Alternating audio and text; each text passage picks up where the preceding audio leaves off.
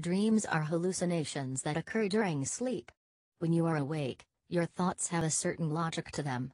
However, when you sleep, your brain is still active, but your dreams often make little to no sense. This may be because the emotional centers of the brain cause dreams, rather than the logical regions.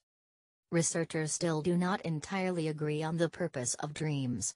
There are, however, many different beliefs and theories.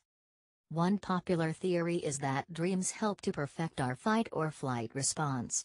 The amygdala is a part of the brain associated with this response and is more active during our sleep. Dreaming may be the brain's way of getting you ready to deal with a threat. Luckily, the brainstem sends out messages to relax our muscles so we do not kick or punch in our sleep. Another popular theory is that dreams may be ways of confronting the emotional dramas in our lives. While asleep, our brains operate at a more emotional level than while awake. As a result, our brains may make connections regarding your feelings that we would not make while awake.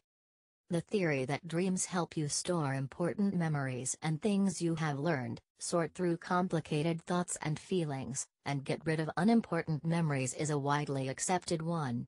Research shows that sleeping helps in storing memories, if you learn new information and sleep on it, you will be able to remember it better than if asked to recall that information without the help of sleep.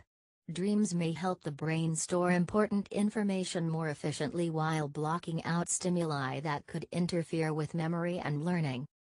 Dreams could allow us to facilitate our creative tendencies as well. This theory is backed up by multiple artists of many different kinds who claim that they were inspired by a dream. Without the logic filter you might normally use in your normal life that can restrict your creative flow, your thoughts and ideas have no restrictions when you are sleeping. Dreams are still very mysterious and researchers do not know the exact purpose for them. Thanks for watching.